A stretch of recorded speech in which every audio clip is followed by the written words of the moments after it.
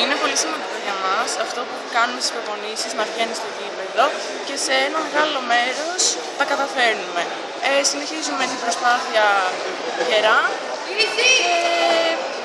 θα δούμε τι θα συνεχίσουμε το Βλέπει βελτίωση της ΑΕΚ μέσα από τα φιλικά; Ναι, σαφώς η βελτίωση φαίνεται και όσο γίνεται προσπαθούμε και το βγάζουμε, τα καταφέρουμε.